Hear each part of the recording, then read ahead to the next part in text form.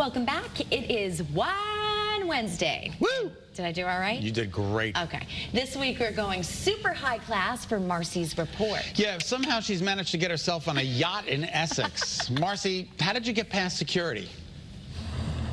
How do I always get in these crazy situations? it's not like I orchestrated this for months. What? I'm here with my friend Julius from Angelini Wines, as well as my friend Sarah. We've also got up here, we've got Captain Steve, who is indulging in any drinking because obviously captains have to stay sober because we've got to have a DD. All right, so Julius, we are talking rosé all day.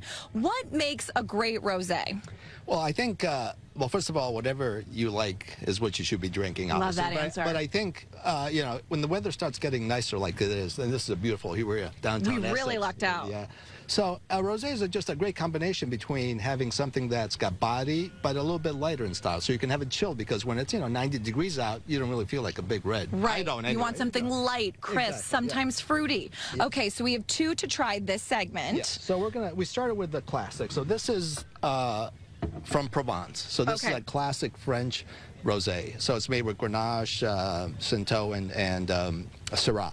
So, I notice a lot of the bottles from Provence are Yes, this this shape. is, this is the traditional bottle. They all have a, a variation of the shape, but the, the wines are, you know, there's a little peach quality to it. It's just, a, it's just a, it's, it's a, just a nice wine. I did have a sip of this during the tease, and I loved it already. I feel like I know it. This is one that like I go you're back there. to. Yeah, it does. it feels like you're in Provence. We're in Provence right now? Yeah, exactly. We, we could be. We could be in uh, Marseille. It's delicious. Yeah, And I would call uh, this a great yachting wine. Oh my God, without a doubt. And the typical color of uh, from Provence is this kind of uh, Gorgeous, peachy. It has a peach- warm yeah, tone like to that. it. Some people call it uh, onion skin. Do you think Oh. that's it?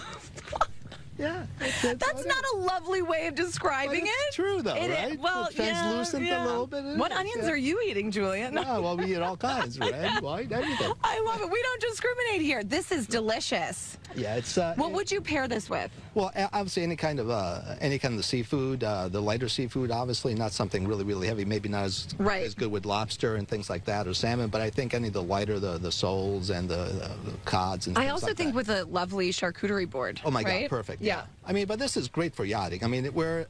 This is the wine. These are the types of wines when you have when This it's is so it. nice. Oh my Yes. God, it's it doesn't. We'll call like them on the water wines, right? Yeah. Oh, I Oh love it. Okay, so what else do we have Okay, here? So then we're going. So we're going from France to Italy. Ooh. So this is part of the Ferragamo uh, family of wines. okay, we've So- talked about them before. So Salvatore uh, Ferragamo is the grandson of the person who started the fashion company. Love it. So uh, all rosés are made with, uh, because of the skin contact, they're made with red wine. And uh, so there's a little skin contact. After they crush the grapes, they stay a few hours with the skin, which it gets the colors. Okay. And so you have a lighter style, but this is Sangiovese. So this is the same wine that's used, the same grape that's used to make Brunellos and Chiantis. Oh, okay. But this is it made in um, uh, a white style, Hmm. a rosé.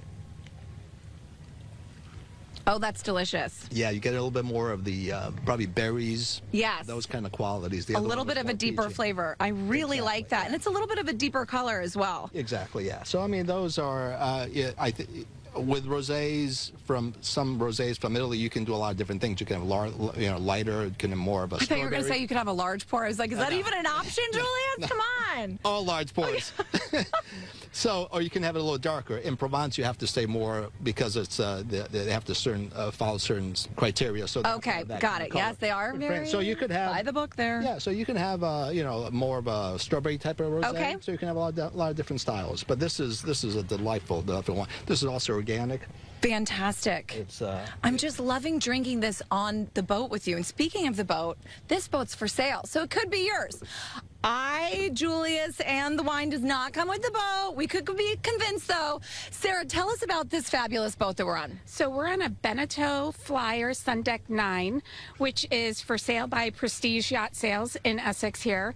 Um, And it's a beautiful 28-foot boat, and it even has a, a deck that This is that- my favorite part of it. You guys, on the side that you can flip down to make it easy for you to jump in the Yes. water. Memorial And Day I love that it has the wooden paneling, so you don't have to worry worry about slipping on there. We've got the speakers all around. You've got a little yacht rock going. Oh, Yeah, definitely. It is just stunning. It's gorgeous. Thank you so much for having us, Captain Steve. We can't wait to try a couple more wines when we come back, including one from Julius's estate in Italy. Yeah.